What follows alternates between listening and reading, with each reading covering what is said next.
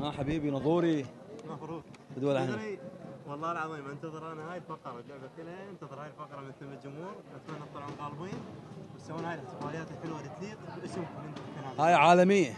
والله فوق العالم. هاي مال جمهور الزوراء هاي. والله هاي دائما إحنا قبل متعلمين عليها. بس للأسف يعني مر النادي بفترات قام الزوراء ينحرم من هاي اللحظات. بس الحمد لله وشكر.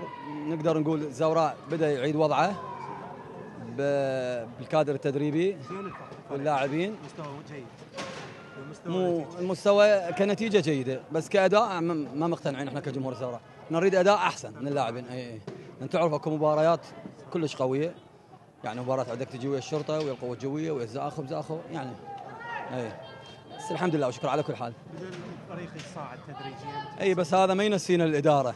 حتى يكون حتى تكون رسالة هاي لهم ما ننساهم. يشوفون هتافاتنا عليهم بالمدرج قبل المباراة ما بين الشوطين وبعد المباراة. لأن للأسف الفترات اللي انتكس النادي بها ما كان السبب مثلا اللاعبين أو الكادر التدريبي أو الجمهور. هم كانوا السبب. هاي يعني كل الرياضيين يشهدون بها. بظل فترة قيادة هاي الإدارة للنادي ب 14 سنة الزوراء ثلاثة دوري.